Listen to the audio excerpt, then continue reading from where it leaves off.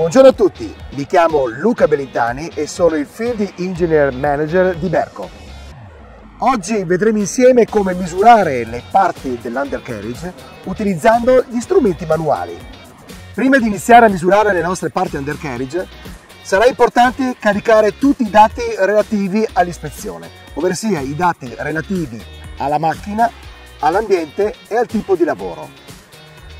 Per fare questo dobbiamo utilizzare la nostra app Bopis Life.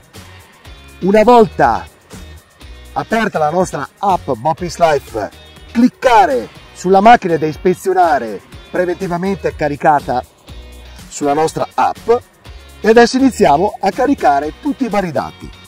Macchina, equipaggiamento della macchina, l'applicazione della macchina, in questo caso è pouring, il tipo di lavoro, in questo caso è un excavating, quanti turni di lavoro al giorno, un turno di lavoro, le ore di lavoro giornaliere, 8 ore, quanti giorni lavorativi alla settimana, le ore della macchina, le ore di trekking della macchina. E le ore delle nostre parti undercarriage. Chiudiamo. Ora passiamo, come vedete la linea verde significa che tutti i dati sono stati caricati al 100%. Ora passiamo al, ai dati relativi all'ambiente di lavoro, l'impatto del terreno, basso, l'abrasività del terreno, moderato, se c'è packing o meno, quindi se c'è parecchio fango, la composizione del terreno, in questo caso è muddy e marble, le condizioni di lavoro, flat e anche rolling, la temperatura e l'altitudine. Possiamo anche dare le coordinate di dove si trova la macchina, immediatamente abbiamo la latitudine e anche la longitudine. Bene, anche qui, per quanto riguarda i dati relativi all'ambiente, abbiamo concluso il tutto, infatti la linea è verde al 100%. Ora iniziamo con la nostra ispezione, o meglio, misurazione delle parti undercarriage. Ecco cosa possiamo trovare all'interno del nostro kit per gli strumenti manuali. Abbiamo un metro a nastro, una riga per il controllo delle maglie, un calibro per il controllo dei rulli superiori, un calibro per il controllo delle boccole il calibro per il controllo dei rulli inferiori e una spatola per rimuovere lo sporco sulle parti da controllare. Ci troviamo sul lato sinistro della macchina. Inizieremo a misurare la maglia con questo strumento che ho in mano. Prima di eseguire la misurazione delle nostre parti è necessario la completa pulizia delle loro superfici.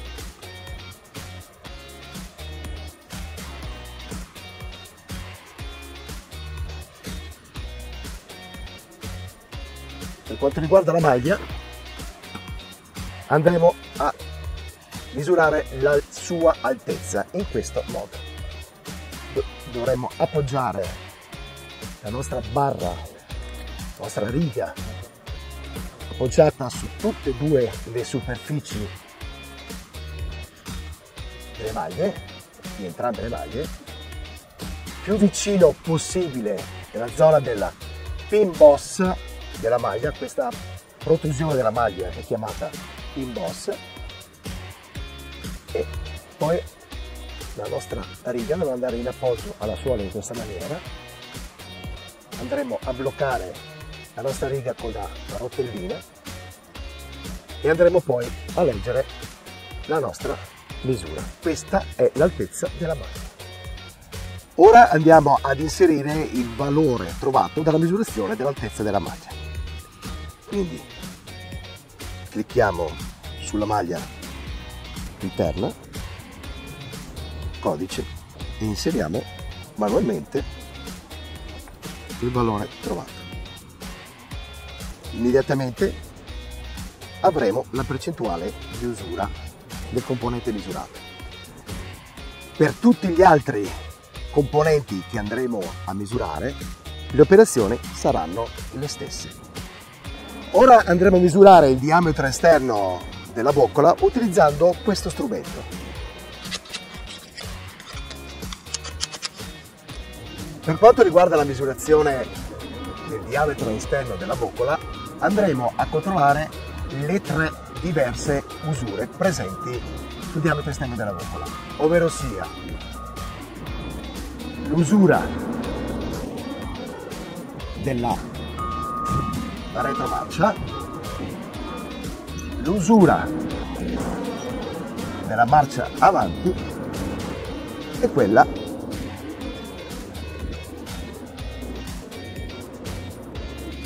e quella verticale.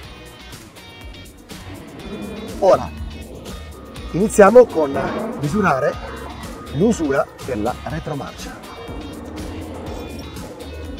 Innanzitutto dobbiamo oltrepassare con le due punte del calibro il diametro della nostra boccola. Le due punte non devono far fatica ad attraversare la boccola, ma nemmeno in maniera facile.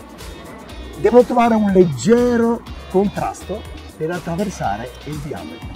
Quindi ci vuole molta sensibilità da parte della persona che esegue la misurazione. Ecco, in questo momento le due punte stanno attraversando la boccola in maniera molto leggera. Posizionarsi sulla parte centrale della boccola, mai attaccati alla maglia, esattamente al centro della boccola, questa posizione. Una volta trovata la misura, la andiamo a leggere utilizzando la nostra riga. Anche questa misura andrà riportata sulla nostra app di Poppis. Ora andremo a misurare l'altezza dei denti della suola utilizzando questa asta graduata. Per quanto riguarda la misurazione della suola, andremo a misurare l'altezza dei denti in questa maniera. Andiamo ad appoggiare perfettamente la nostra riga su entrambi i denti, esattamente in questa posizione, e poi con la nostra asta verticale andremo in appoggio sul fondo della suola. Andremo a bloccare la stina con la nostra rotellina. E poi andiamo a leggere il valore. Esattamente 46 mm punto 5 riportiamo nel live anche questa misura. Ecco arrivati alla misurazione dei rulli superiori e utilizzeremo questo calibro. Ora passiamo alla misurazione del rullo superiore. Per quanto riguarda questo componente andremo a misurare il diametro delle piste. Quindi utilizzando questo strumento vedete le due punte laterali entrambe le punte dovranno attraversare leggermente senza molto attrito il diametro della pista in questo caso esterna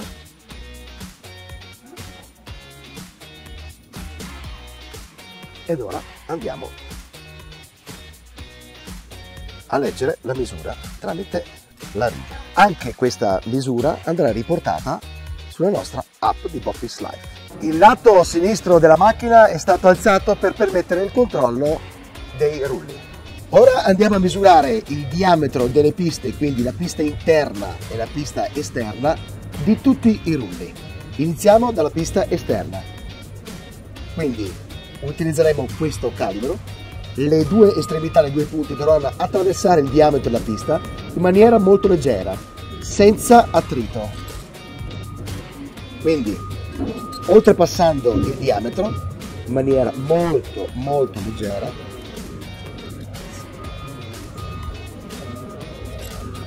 una volta trovata la misura, ci prendiamo la nostra riga per leggere la misura. Riportiamo nel live anche questa misura. Ed infine misureremo la nostra ruota anteriore utilizzando questa asta graduata. Per quanto riguarda la misurazione dell'hydrer andremo a misurare la profondità delle piste, quella esterna e quella interna. iniziamo a misurare la profondità della pista esterna in questa maniera. Appoggiamo bene la nostra riga sulla la pista centrale della nostra ruota anteriore. E poi andiamo in appoggio con la nostra astina sulla pista. Andiamo a bloccarla tramite la nostra rotellina e poi andiamo a leggere la misura. Anche questa misura andrà riportata sulla nostra app di Boppy Slide ora passiamo al controllo del tensionamento della catena. Il corretto tensionamento previene l'accelerazione di usura sui componenti dell'undercarriage e anche danneggiamenti. Ora vediamo come effettuare la misurazione. Prendiamo un filo, lo appoggiamo sopra ai denti delle suole, partendo dalla suola che si trova sopra alla ruota anteriore fino ad arrivare alla suola esattamente sopra al rullo superiore vicino alla ruota anteriore in questa maniera. E poi andiamo a leggere la distanza massima tra il filo e la parte superiore del dente. In questa maniera. Una volta trovata la massima distanza che in questo caso è questo punto leggiamo la misura e la andiamo a confrontare con la specifica che è riportata sul manuale della macchina Ora andremo a controllare il passo della catena, ovvero sia se la catena si è allungata o meno. Questa operazione è molto delicata e complessa e quindi bisogna fare molta attenzione. Consiste nel interporre un pezzo di acciaio inserito tra lo sprocket e la catena, poi l'operatore muoverà la macchina lentamente in retromarcia. Quando tutta la parte superiore della catena sarà completamente tesa, l'operatore dovrà fermarsi. Ora vediamo la completa operazione.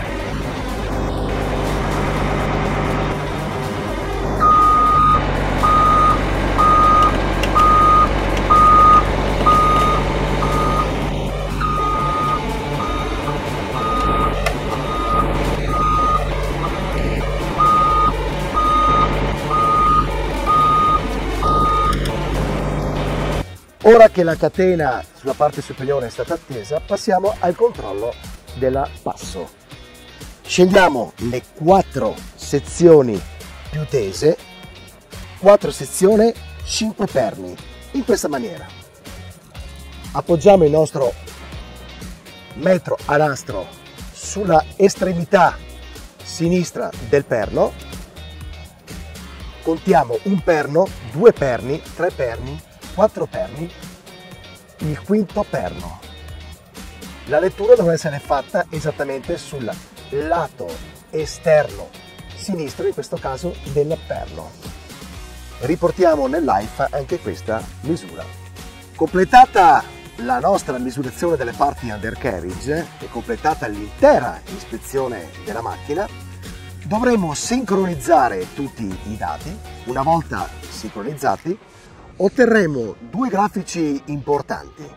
Un grafico che mostra la vita residua dei componenti al 100% di usura e al 120% di usura e un altro grafico che mostra il comportamento delle usure dei vari componenti. Bene, l'ispezione è finita. Sono molto soddisfatto in quanto i dati hanno dato prova dell'affidabilità del prodotto Berco in termini di usura ed integrità. Spero che questo video possa essere di, di vostro aiuto e comunque per qualsiasi problema non esitate a contattare Berk.